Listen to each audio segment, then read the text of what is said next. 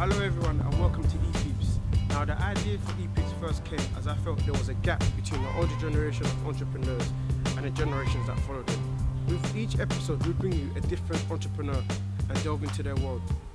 We hope to inspire, motivate and to show you with hard work anything is possible. Watch out for all the other fun and games products coming your way and remember, stay hungry, stay focused, change the world.